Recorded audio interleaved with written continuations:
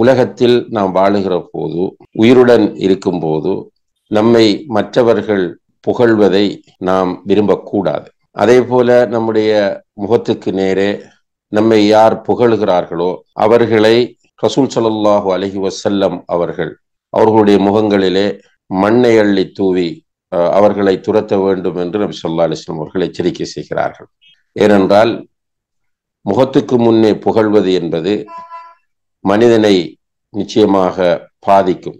நம்முடைய இஹ்லாஸை நிச்சயமாக பாதிக்கும். ஒரு முஸ்லிம் எப்படி இருக்க வேண்டும் என்று கேட்டால் எனக்கு முன்னால் என்னுடைய நண்பரோ என்னுடைய சகோதரனோ எனக்கு தெரிந்த ஒருவரோ தவறு விடும்போது ஒரு பாவத்தை செய்யும் போது அந்த பாவத்தை சுட்டி காட்டி திருத்தக்கூடிய நிலை இருக்க வேண்டும். ரசூல் சல்லாஹ் அலஹி வசல்லம் அவர்கள் சொல்கிறார்கள் மன்ற ஆ மின்கும் முங்கரன் ஃபல்யுகையிர்ஹுபியதி உங்களில் யாராவது ஒரு பாவத்தை கண்டால் கையால் தடுக்கட்டும். அதை கையினால் தடுத்து மாற்றுவதற்குரிய வழிகளை பார்க்கட்டும்.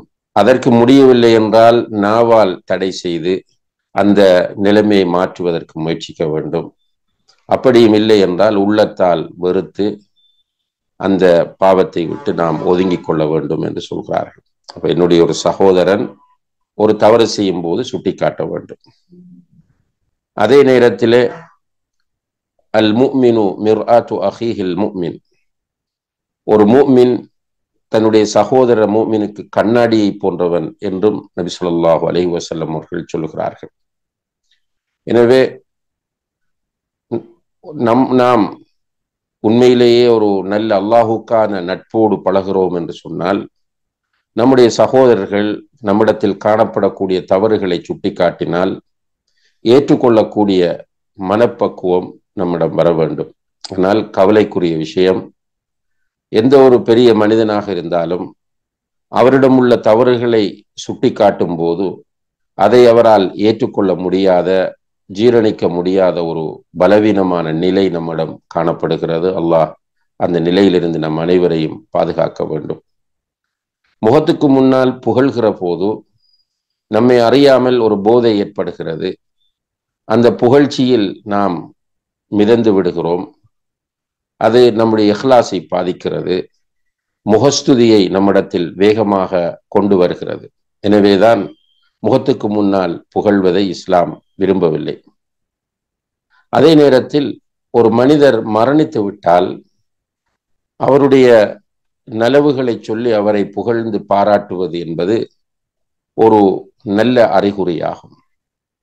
அனஸ் அலி அல்லாஹு அன்ஹு அவர்கள் அறிவிக்கிறார்கள் ஒரு நாள் நபிகள் நாயம் சொல்லல்லா செல்லம் அவர்களை கடந்து ஒரு ஜனாசா கொண்டு செல்லப்பட்டது. அந்த ஜனாசா கொண்டு செல்லப்பட்ட போது அங்கிருந்தவர்கள் அந்த ஜனாசாவை புகழ்ந்து பாராட்ட ஆரம்பித்தார்கள். ஒவ்வொருவராக புகழ ஆரம்பிக்கிறார்கள் பாராட்ட ஆரம்பிக்கிறார்கள். எப்படி சொல்கிறார்கள் என்றால் நாம் இவரை பற்றி அறிந்திருந்தது. இவர் அல்லாஹுவையும் அல்லாஹுடைய தூதரையும் நேசிக்கக்கூடிய ஒரு நல்ல மனிதராக இருந்தார் என்பது போல அங்கிருந்தவர்கள் பாராட்டும் போது அல்லாஹுடைய தூதர் சல்லல்லாஹு அலஹி வசல்லம் அவர்கள் மூன்று தடவை வஜபத் வஜபத் வஜபத் என்று சொன்னார்கள். அவருக்கு வாஜிபாகி விட்டது வாஜிபாகி விட்டது வாஜிபாகி விட்டது என்றார்கள். அதே வேளையிலே இன்னும் ஒரு ஜனாசா கொண்டு செல்லப்பட்ட போது அவரை ஒருவர் இகழ்ந்து மிக மோசமாக சொல்லுகிறார். ஒவ்வொருவராக அவரை மோசமாக சொல்லுகிறார்கள். பிசல் மர் உக்கான ஃபி தீனில்லா. அல்லாஹுடைய மார்க்க விஷயத்தில் மிக மோசமான ஒரு மனிதராக இவர் இருந்தார் என்று சொன்னபோது நபீல் நாயம் சொல்லல்லா அலிஸ்லம் அவர்கள் அதற்கும் மூன்று தடவை வஜபத் வஜபத் வஜபத் என்றார்கள். அவருக்கு வாஜிபாகி விட்டது. வாஜிபாகி விட்டது என்று சொன்னார்கள். அங்கிருந்த உமரலி அல்லாஹு அன்ஹு அவர்கள் நபி சொல்லா அலிஸ்லம் அவர்களை பார்த்து கேட்கிறார்கள் அல்லாஹுடைய தூதரே ஜனாசா கொண்டு செல்லப்பட்ட போது ஒரு நல்ல விஷயம் அவரை பாராட்டி நல்ல முறையில் பேசிய நேரத்தில் நீங்கள் வஜபத் வஜபத் வஜபத் என்று சொன்னீர்கள். அதே போல அவருடைய கடிதைகள் சொல்லப்பட்ட போதும் வஜபத் என்று சொன்னீர்களே இதற்கு என்ன அர்த்தம் என்று கேட்டபோது அல்லாஹுடைய தூதர் சல்லல்லாஹு அலஹி வசல்லம் அவர்கள் சொன்னார்கள் நீங்கள் அவருடைய நலவுகளை சொல்லி பாராட்டிய போது புகழ்ந்த போது அவருக்கு சுவர்க்கம் வாஜிபாகிவிட்டது. அதே போல நீங்கள் அவருடைய தீங்குகளையும் கெடுதிகளையும் சொல்லி அவரை குறை சொன்ன போது அவருக்கு நரகம் வாஜிபாகிவிட்டது. ஏனென்றால் வானத்திலே மலக்குகள் அல்லாஹுடைய சாட்சியாளர்களாக இருக்கிறார்கள். நீங்களோ பூமியில் அல்லாஹுடைய சாட்சியாளர்களாக இருக்கிறீர்கள் என்று நபிகள் நாயகம் சல்லல்லா அலிஸ்லாம் அவர்கள் சொன்ன செய்தி புகாரி முஸ்லிம் போன்ற பல ஹதீஸ் கிரந்தங்களிலே பதிவு செய்யப்பட்டிருக்கிறது. இப்போ இங்கே மக்கள் மௌத்தானவரை பாராட்டிய போது அவருக்கு சுவர்க்கம் வாஜிபாகிறது. அதே போல மௌத்தானவருடைய மார்க்க விரோத போக்குகளை சுட்டிக்காட்டி மக்கள் குறை சொன்ன போது அவருக்கு நரகம் வாஜிபாகிறது என்பதை நாம் புரிந்து கொள்ளக்கூடியதாக இருக்கிறது. அதே போல இன்னும் ஒரு ரிவாயத்திலே அபுல் அஸ்வதி தீலி என்று சொல்லக்கூடிய நபித்தோழர் சொல்கிறார் நான் மதீனாவுக்கு வந்தேன். அபுல் அஸ்வத் தீலி ரஹ்மஹுல்லா அவர்கள் சொல்கிறார்கள் நான் மதீனாவுக்கு வந்தேன். அங்கே ஒரு நோய் ஏற்பட்டது. மக்கள் மௌத்தாகி கொண்டிருந்தார்கள். நான் உமர் அலி அல்லாஹ் அவர்களுக்கு பக்கத்திலே இருந்தேன். அப்போது ஒரு ஜனாசா கொண்டு வரப்பட்டது. அவர் அந்த ஜனாசாவை புகழ்ந்தார். உமர் அலி அல்லானோர்கள் அதாவது அங்கு இருந்த ஒருவர் புகழும் போது உமர் அலி அல்லானோர்கள் வாஜிபாகி விட்டது என்று சொன்னார்கள். அந்த நேரத்தில் இந்த அபுல் அஸ்வத் என்பவர் கேட்கிறார் அமீருல் முக்மினே என்ன வாஜிபாகி விட்டது? எது வாஜிபாகிவிட்டது என்று கேட்டபோது உமர் அலி அல்லானவர்கள் சொன்னார்கள் நபி சொல்லா அலிசல்லம் அவர்கள் சொன்னது போல நானும் சொல்லுகிறேன் ஐயுமா முஸ்லிமின் ஷஹீத் அலஹு அர்பா பி ஹைர் அது ஹலஹுல்லாஹுல் ஜன்னா. எந்த ஒரு முஸ்லிமாவது மரணித்து அவரை பற்றி நான்கு பேர் நல்ல முறையில் சாட்சி சொன்னால் அவருக்கு சுவர்க்கம் அவரை அல்லாஹ் சுவர்க்கத்தில் நுழைவிக்கிறான் என்று நபி சொல்லா அவர்கள் சொன்னார்கள் நாங்கள் கேட்டோம் மூன்று பேர் மூத்தானாலுமா மூன்று பேர் சாட்சி சொன்னாலுமா? என்று கேட்டபோது நபி சொல்லா அலிஸ்லாம் அவர்கள் சலாசத்துன் மூன்று பேர் நல்ல முறையில் சாட்சி சொன்னாலும் அவருக்கு சுவர்க்கம் வாஜிபாகிறது.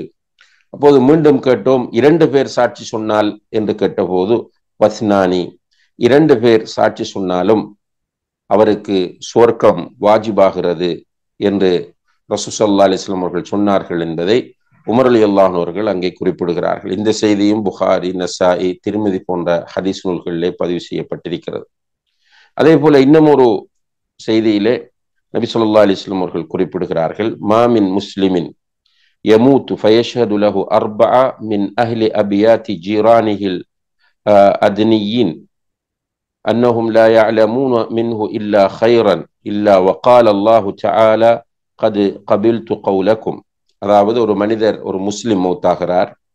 அவருடைய அண்டை வீட்டார்களில் நெருக்கமான அண்டை வீட்டார்களில் நான்கு பேர் அவரை பற்றி சாட்சி சொல்கிறார்கள்.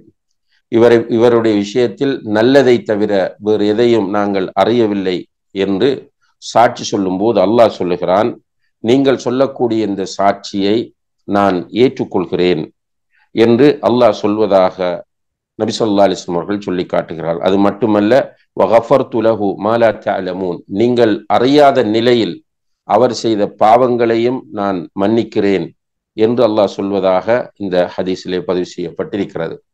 எனவே அன்புள்ள சகோதர சகோதரிகளே இந்த மூன்று செய்திகளையும் வைத்து நாம் பார்க்கிற போது நிச்சயமாக முஸ்லிம்கள் ஏனைய முஸ்லிம்களை பற்றி சொல்லக்கூடிய நல்ல சான்று அல்லாஹ்விடத்தில் ஏற்றுக்கொள்ளப்படுகிறது என்பதை நாம் புரிந்து கொள்ளலாம். அல்லாஹும் குரானிலே சொல்லும் போது உங்களை வஜால்னாக்கும் அதாவது உம்மத்தன் வசத்தா உங்களை ஒரு நடுநிலை சமுதாயமாக நாம் ஆக்கியிருக்கிறோம். லித்தகூனு சுஹதா அலன்னாஸ். மனிதர்களுடைய விஷயத்தில் சாட்சி சொல்லக்கூடியவர்களாக. எனவே மூமீன்களுடைய சாட்சி என்பது நல்ல முறையில் அமையுமாக இருந்தால் அதாவது மௌத்தான ஒருவரை பற்றி மூமீன்கள் சொல்லக்கூடிய சாட்சியம் நல்ல சாட்சியமாக இருந்தால் அதை அல்லாஹ் ஏற்றுக்கொள்கிறார் அதே போல மோசமான ஒரு சாட்சியமாக அது இருக்கிற போது அதையும் அல்லாஹு தாலா ஏற்றுக்கொள்கிறார் இங்கே முக்மீன்கள் நல்ல முக்மீன்கள் சொல்லக்கூடிய சான்றாக அது இருக்க வேண்டும்.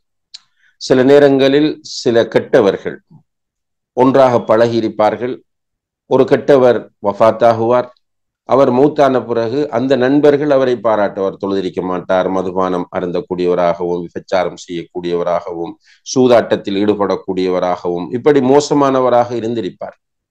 ஆனால் மோசமானவராக இருந்தவரை அந்த மோசமான நிலையில் உள்ள நண்பர்கள் பாராட்டுகிறார்கள் என்றால் அதால் பிரயோசனம் இல்லை. ஆனால் ஒருவர் மௌத்தாகிறார் மௌத்தாகிறவர் நல்லவராகவே உலகத்தில் வாழுகிறார் அவரை மூமின்கள் பாராட்டுகிறார்கள். மாஷா அல்லா இவர் வக்துக்கு தொழக்கூடியவர். பள்ளிவாசலில் எந்த நேரமும் இருக்கக்கூடியவர். இவர் தாவா பணிகளில் ஆர்வம் காட்டக்கூடியவர்.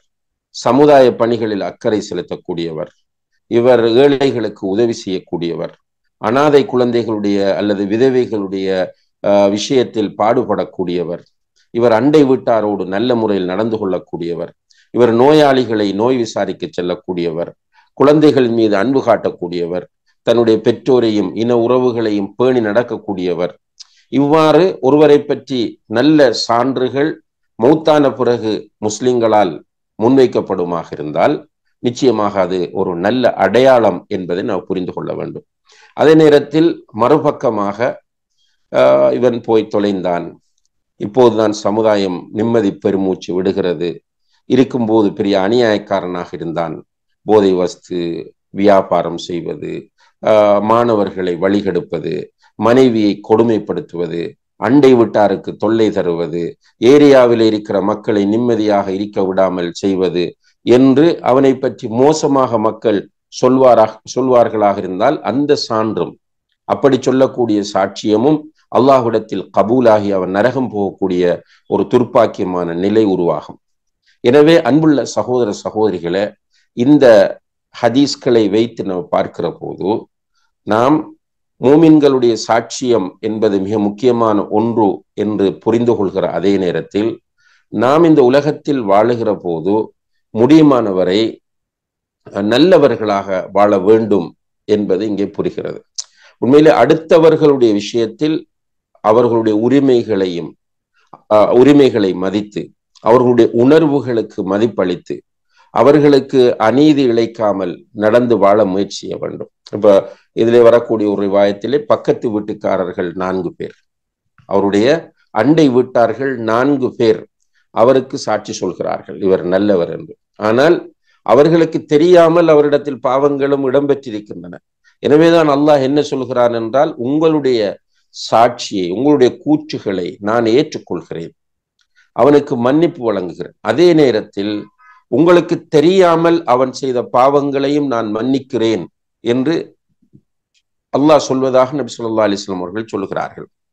எனவே நிச்சயமாக நாம் மனிதர்களோடு பழகுகிற போது நல்ல அஹ்லாக்குகளோடு பழக முயற்சி செய்ய வேண்டும். நிறைய பேர் இந்த விஷயத்துல பொடுபோக்காக இருக்கிறார்கள். அடுத்தவர்களுடைய உணர்வுகளுக்கு மதிப்பளிப்பதில்லை. அடுத்தவர்களுடைய கண்ணியங்களையும் அவர்களுடைய மானத்தையும் பாதுகாப்பதில்லை. அடுத்தவர்களுக்கு தொல்லை தந்து கொண்டே இருப்பார்கள். ஒன்றில் நாவினால் தொல்லை தருவது அல்லது கையினால் தொல்லை தருவது அல்லது வேறு ஏதோ ஒரு முறையில் தொல்லை தந்து கொண்டே இருப்பார்கள். நபிசல்லா அலிஸ்லாம் அவர்கள் சொல்லுகிறார்கள் அல் முஸ்லிமு மன் சலிம் அல் முஸ்லிமு மில்லிசானிஹி வயதிஹி உண்மையான ஒரு முக்மின் யார் என்றால் தன்னுடைய கரத்தினால் யாருக்கும் தொல்லை தர மாட்டார் தன்னுடைய நாவினால் யாருக்கும் தொல்லை தர மாட்டார் இப்படி இருக்கிற ஒரு முஸ்லிம் தான் உண்மையான முஸ்லிம் என்று சொல்கிறார்கள். மிக கவனமாக இந்த ஹதீஸ்களை நாம் படிக்க வேண்டும். சில சகோதர சகோதரிகள் நினைக்கிறார்கள் வெறுமனே குர்வான் ஓதுவது தஹஜ தொழுவது சுனத்தான நோன்புகளை நோட்பது உம்ராவுக்கு போய் வருவது ஹஜ்ஜிக்கு போய் வருவது இவற்றால் மட்டும் நாம் சுவர்க்கம் செல்லலாம் என்று நினைக்கிறார்கள். அப்படி இல்லை சகோதர சகோதரிகளே. நம்முடைய அஹ்லாக்கு மிக முக்கியமானதாகும். அடுத்தவர்களோடு நாம் பேண வேண்டிய உறவு அது இஸ்லாமிய வரையறைகளோடும் நல்ல பண்பாடுகளோடும் இருக்க வேண்டும். நம்முடைய வாய் நல்ல வாயாக இருக்க வேண்டும். அதாவது ரசூல் சல்லா அலிஸ்லாம் அவர்கள் ஒரு நாள் ஒரு மனிதரை பற்றி பேசிக் கொண்டிருக்கிறார்கள். அவர் திடீரென வரும்போது ரசூல் சல்லா அலிஸ்லாம் அவர்கள் அந்த பேச்சை நிறுத்திய அதே நேரத்தில் அவர் அவரோடு கொஞ்சம் சுமூகமாக பேசினார்கள். இதை அவதானித்தவர்களுடைய மனைவி கேட்கிறார்கள் நீங்கள் இவரை பற்றி இப்படியெல்லாம் சொல்லி கொண்டிருந்து விட்டு இப்போது இவ்வாறு நடந்தீர்களே என்ன என்று கேட்டபோது அல்லாஹுடைய தூதர் சல்லல்லா அலிஸ்லாம் அவர்கள் சொன்னார்கள் மனிதர்களில் மிக கெட்டவன் யார் என்றால் அவனுடைய வாயிலிருந்து வரக்கூடிய அசிங்கமான வார்த்தைகளுக்கு ஏனையோர் பயப்படுவார்களாக இருந்தால் அவன்தான் கெட்ட மனிதன் என்று சொன்னார்கள். சிலர் அது அவர்களுடைய திறமை என்று நினைக்கிறார்கள். சில பெண்களும் இருக்கிறார்கள். அவர்கள் மாமியாரோடு சண்டை செய்வது அல்லது மருமகளோடு சண்டை செய்வது அல்லது அவர்கள் ஒரு ஸ்கூலில் ஒரு காலேஜில் இருக்கும்போது ஏனைய அவர்களுடைய கலெக்ஸோடு சண்டை செய்வது அவர்களை யாரும் மிகைக்க முடியாது. அப்படி பேசுவார்கள். இது அவர்களுடைய திறமை என்று நினைக்கிறார்கள். நிச்சயமாக இல்லை. இவர்கள் நஷ்டவாளிகள். இப்படியானவர்கள் அந்த இடத்திலிருந்து போனாலே மக்கள் ராகத்தடைகிறார்கள் இவர்கள் துனியாவை விட்டு போய்விட்டால் உலகத்தை விட்டு போய்விட்டால் நிச்சயமாக மக்கள் மிகப்பெரிய நிம்மதி பெருமூச்சு விடுவார்கள். எனவே இந்த நிலையில் இருக்கிறவர்கள் தங்களுடைய நிலையை உணர்ந்து கொள்ள முயற்சிய வேண்டும் தௌபா செய்ய வேண்டும் நல்ல அஹ்லாக்குகளோடு மற்றவர்களோடு பழக வேண்டும். நபி சொல்லாஹு அலஹி வசல்லம் அவர்களிடத்தில் ஒரு பெண்மணியை பற்றி சஹாபாக்கள் சொன்ன செய்தி எல்லோருக்கும் தெரியும். எங்களுடைய பகுதியில் ஒரு பெண் இருக்கிறார் இரவெல்லாம் நின்று வணங்குகிறார் பகல் வேளைகளில் நோன்பிருக்கிறார். ஆனால் தன்னுடைய பக்கத்து வீட்டாருக்கு தொல்லை தந்து கொண்டிருக்கிறார் என்று சொன்னபோது அல்லாஹுடைய தூதர் சல்லல்லா அலிஸ்லம் அவர்கள் சொன்னார்கள் ஹிய ஃபின்னார். அந்த பெண்மணி நரகத்தில் என்று சொன்னார்கள். எனவே நாம் இந்த செய்திகளை வைத்து பெற வேண்டிய படிப்பினை என்னவென்று கேட்டால் நாம் உயிரோடு இருக்கும் போது நல்ல அஹ்லாக்குகளோடு நல்ல பண்பாடுகளோடு இஸ்லாமிய வெளிமியங்களோடு மற்றவர்களோடு பழகுகிற நேரத்தில் நாம் மௌத்தானால் அவர்கள் நம்மை மிஸ் பண்ண வேண்டும். நம்முடைய ஹைறுகளை அவர்கள் நினைவுபடுத்த வேண்டும். அதற்கேற்ற முறையில் நம்முடைய வாழ்க்கையை நாம் அமைத்துக் கொள்ள வேண்டும். அதே நேரத்திலே மற்றவர்கள் இவன் தொலைந்தால் நல்லது என்று நினைக்கிற நிலையில் இருக்கிறவர்கள் தௌபா செய்து கொள்ள வேண்டும். அவர்களுடைய நிலையை மாற்ற வேண்டும்.